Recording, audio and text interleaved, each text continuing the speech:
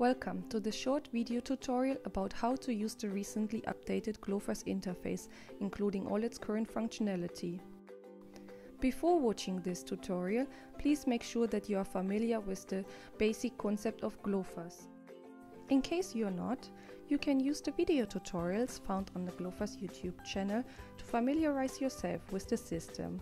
Or, as a second option, you can read the information related to data and methods found on the GloFAS landing page under the About GloFAS section.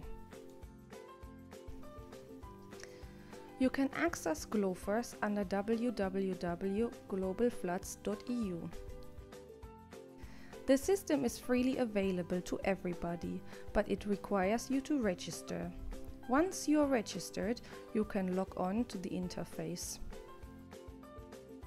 You will see at first glance that the new GloFAS Forecast Viewer has a far more intuitive design. The GloFAS team has prepared two new video tutorials in order to guide you how to use this extremely dynamic platform. The first tutorial, this one, will explain you all the basic features of the interface as well as a brief description of the GloFAS information. The second tutorial will build up upon this one and show you how you can customize the interface to accommodate your very personal user needs by tapping onto a large source of information through the WMS services. Okay, let's get started with the main features of the interface. First thing to check is your inbox, which contains details on updates and other important information. Click on the Forecast viewer to return to the main page of GloFAS. By default, the latest flood forecast is displayed. However, it is possible to see past forecast either by using the calendar option or by using the forward or backward arrows. The clock icon will always bring you back to the latest available forecast. On the top you see the layer repository with four predefined layer categories containing by default all the available GloFAS layers. If there is a GloFAS layer that you are interested in, but it is not yet visible in the forecast viewer, load it into the interface by pressing the activation button.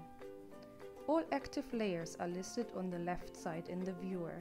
Here you can do a range of modifications, such as activating or removing individual layers or change their display order. Press on the information button to see the layer legend, including a short description.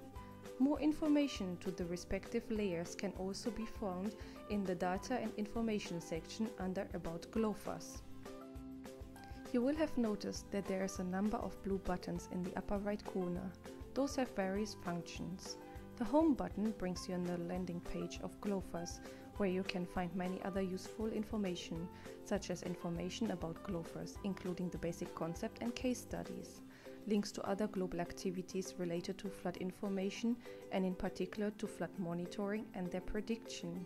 And lastly, your post box and profile settings are also located on the landing page. Again, click on the focus view to return to the Glofas Forecast section. The map background offers you a range of different background layers, among which you can choose your preferred one.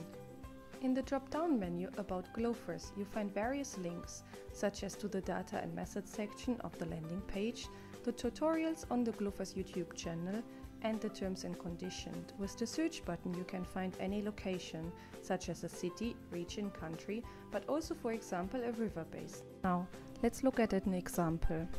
In order to understand how these points relate to each other, make sure you have one of the threshold exceedance layers activated. In addition, activate the major river basin layer to see the delineation of the basin. If you don't remember what the symbols, colors and shades mean, then you can always find the explanation in the description of the respective layer.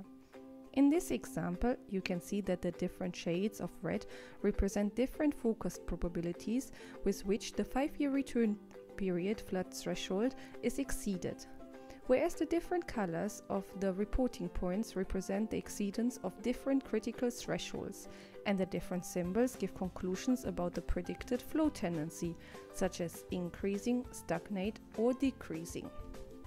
Click on any reporting point to receive more information on the flood forecast for that particular location. First, you will find some key information summarized in the header, such as information regarding the location and the forecast. Further down, you can see a quantile plot that shows the evolution of the forecast for the next 30 days at that particular location. Note that both the discharge and the corresponding GloFAS return periods are shown. Further, you can see the evolution of the forecast in relation to the exceedance of the 2, 5 and 20 year return period threshold in the calendric matrix. Beside those reporting points at which flood thresholds are exceeded, GloFAS holds more than 6,000 permanent reporting points, which are marked with grey squares. Also for those points, you can look at the GloFAS predictions. The meteorological layers will provide you with information related to the expected precipitation. Three layers show the probabilities of exceeding certain quantities of precipitation within the next 10 days. The one currently loaded into the viewer shows with which probability 150 millimeters of precipitation are expected within the next 10 days, according to the ECMWF forecast. The fourth meteorological layer shows the accumulated amount of precipitation over the forecast range of 10 days, based on the median of the ECMWF forecast. In order to understand better where how much precipitation is forecasted, it is recommended to change the opacity of the layer group in order to see the underlying topographic map. Additionally, you can activate the river basin layer to see the amount of expected rainfall in a certain basin.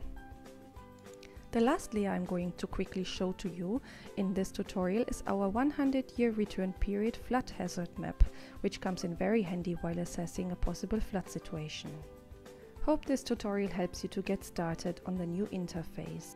In case you are interested in more, please watch our next video on WMS services in GloFAS to learn how this dynamic platform allows you to tap onto a vast amount of freely available information that help you to accommodate your very personal user needs. The GloFAS team is wishing you happy exploring.